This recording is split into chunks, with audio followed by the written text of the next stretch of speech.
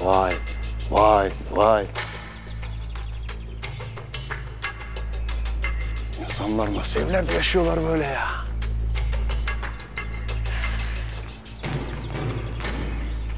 Baba,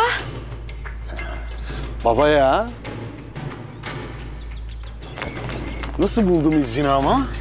baba senin burada ne işin var? Niye geldin? Hoş geldin baba diyeceğin ettiği laflara bak ya. Ne yapayım? Günlerdir geldiğin ettiğin yok. Ee, ben de mecburen kalktım buraya geldim. Ya insan bir arar. Bu adam aç mı, susuz mu, parası var mı? Ama nerede? Allah Allah kim ki bu? Etekinden alınca da kızıyorsun. Baba lütfen git. Şu an zaten param yok. Baba mı? Hiçbir şey veremem ki sana. Ama biraz zaman geçsin avans ister getiririm. Hadi lütfen şimdi git. İşimden edeceksin beni. Ha. Tamam o zaman gideyim ya.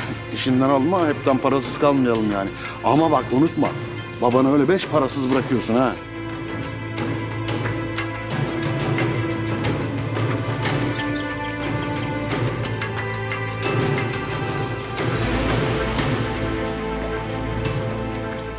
Kimdi o? Bir akrabamız.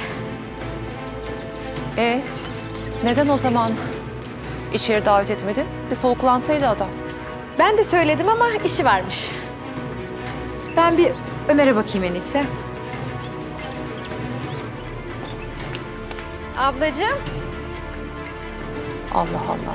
Bu şimdi niye böyle panik yaptı ki? Bir babası olduğunu neden saklıyor?